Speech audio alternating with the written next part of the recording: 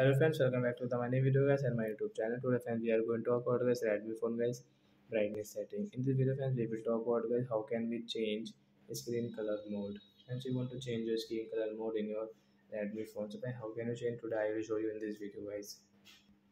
So before starting video friends, first of all go and subscribe the channel guys, click the bell icon, like my video.